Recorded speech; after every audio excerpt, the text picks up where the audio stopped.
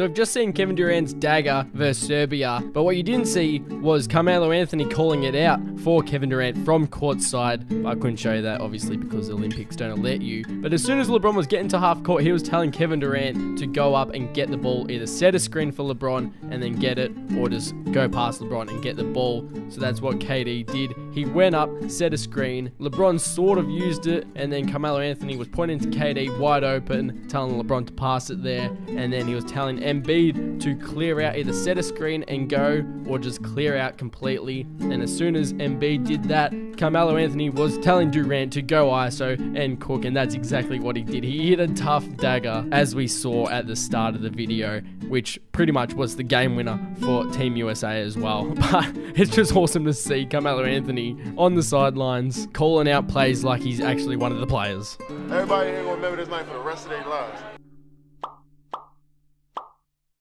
thank you